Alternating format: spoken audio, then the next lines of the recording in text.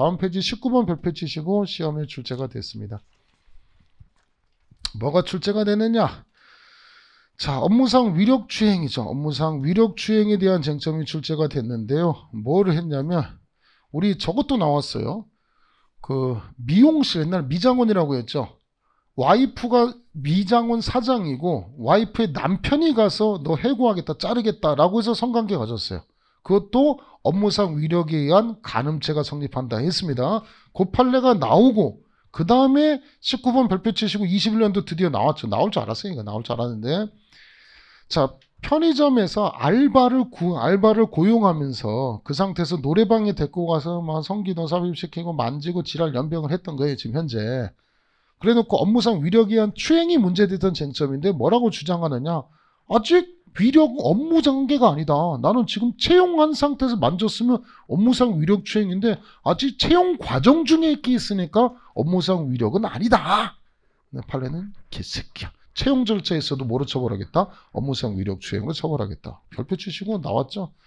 자, 성폭법 제10조. 가 이걸 미리 하겠다는 거예요. 전에 다 설명 다 찍어줬는데도 나중에 나오니까 그랬어요? 몰랐어요. 그거 못 들었어요. 이런 애들 나오더라고요. 그래서 내가 미리미리 나중에 이제 다시는 그런 소리를 듣고 싶지 않아요. 내가 했다니까. 요 가서 옛날 강의 들어보면 다 했어. 나온다! 겁나 중요하다. 미장원 얘기까지 다 했어. 이거. 근데 이 늦게 하다 보니까 학생들이 템포가 늦어지는 거. 할게 많은 상태에서 막 판례가 쏟아지고 할 거 많으니까 어, 못하겠어요. 막 이런 것 같아요. 그래서 내가 이거는 좀 미리 땡겨서 해야 되겠다는 생각이 좀 강합니다. 성폭법에서 업무 고용이나 그 밖의 관계로 자기 보호 감독 받는 사람에는 직장 안에서 보호 또는 감독을 받거나 사실상 보호 감독, 사실상 보호 감독은 아까 그 미장원에서 그 남편 얘기하는 거예요. 거기도 당연히 포함되고 채용 절차에서 영향력 범위 안에 있는 사람도 여기에 포함된다까지 체크를 해서 보셔야 됩니다. 그래서 양가로 20번이 이제 성폭법상의 업무상 위력추행, 그 편의점에서 알바하면서 뭐 노래방 데리고 가면서 성기 만지고 성기 만지기 하고 뭐 이렇게 하는 거 이것도 업무상 위력추행에 해당한다. 21번도 무조건 나오죠. 카메라 등 이용 차량 카메라 등 이용 차량죄에서 그 레깅스 입은 거 찍은 거죠. 레깅스. 신체에 레깅스 입은 것도 신체에 해당하느냐라는 쟁점입니다. 자, 카메라 등 이용 촬영죄 대상이 되는 신체가 반드시 노출된 부분에 한정되는 것은 아니다. 이게 나오죠. 반드시 노출된 부분에 한정된다. 이런 나오면 틀리죠. 근데 제가 궁금한 게 제가 레깅스 입으면 되나요? 아니 강의할 때 말고 저희 저희 주짓수 할 때 노기 주짓수라고 해서 레깅스 입고 하거든요. 밖에는 입고 나면 안 되겠지, 그지? 혹시 혹시 남자 친구 중에서 레깅스 입으신 분? 밖, 이 레깅스 편합니다. 생각보다 편합니다. 가끔 입어요, 레깅스? 레깅스 입어보신 분. 아, 이거 손들면 안 되는 거다. 그지, 그지. 오해하지 마. 제 강의 때 레깅스 입는다는 얘기 아니니까 오해하지 마시고. 어, 하여튼, 뭐 이런 거예요. 신체가 노출되기 때문에. 아니, 그 레깅스를 사오라고 하더라고요. 그래서, 아, 씨, 뻘쭘해서 도저히 못하겠어. 우리, 우리 도장에서 하거든요. 입고. 어쨌든 그렇습니다. 자, 그래서 반드시 노출된 부분에 한정되는 것은 아니다. 의복이 몸에 밀착하여 엉덩이와 허벅지 부분에 굴곡이 드러난다. 그럼 결국은 벗은 상태에서 찍은 것과 뭔 차이가 있느냐. 레깅스를 입은 것 뿐이지 벗은 상태에서 찍은 것에 다를 바가 없기 때문에 이것도 신체에 해당할 수 있다. 양가로 22번 나오죠. 두 번째죠.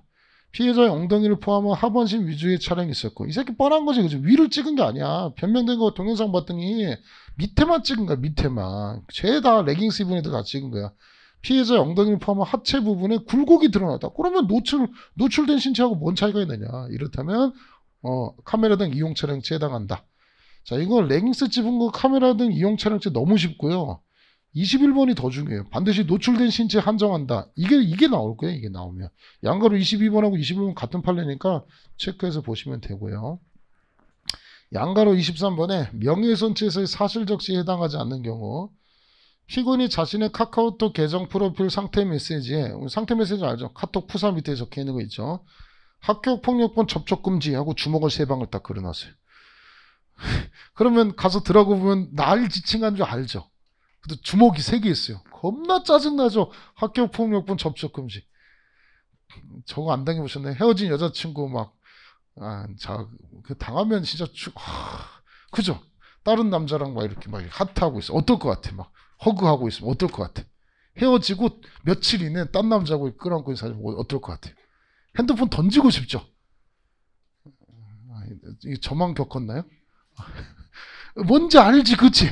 더 웃긴 건 내가 사준 가방 갖고 그 가는 그 카톡 서울. 와, 와, 그죠? 고통이 느껴지죠?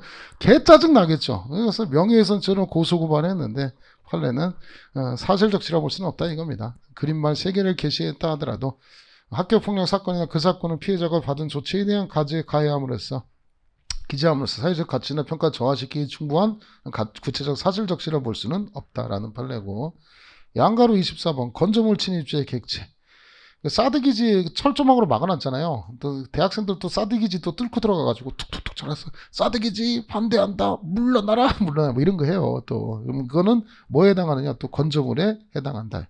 자, 세 번째 줄. 사드 기지 경계 외가 철조망에 내각 철조망을 이중으로 설치하여 외부인의 접근을 철저하게 통제하고 있다. 그러면 이거 당연히 위유지에 해당한다. 사드 기지에 들어가도 건조물 침입죄에 해당한다.